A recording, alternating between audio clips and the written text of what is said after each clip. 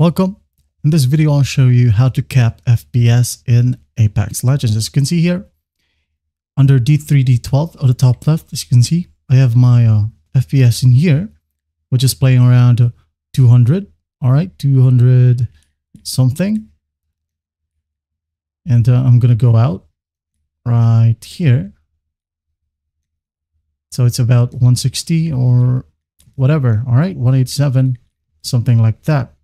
So what we're going to do to um, cap it is just go ahead and exit out of game or exit out.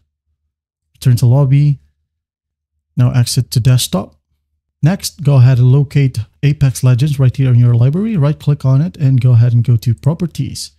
Now in here under launch options, what we're going to do is just go ahead and type in plus FPS underscore max space the preferred refresh rate or preferred FPS. For example, 60 or maybe your monitor is 144 hertz. Go ahead, go ahead and type in 144. And mine right here is 165. So if we want to cap my game to 165, so this is the highest frame rate the game can get. All right, just 165. So what I'm gonna do, just for you to see, I'll be uh, showing you the uh, 60 FPS option. I'm going to close this one and relaunch the game.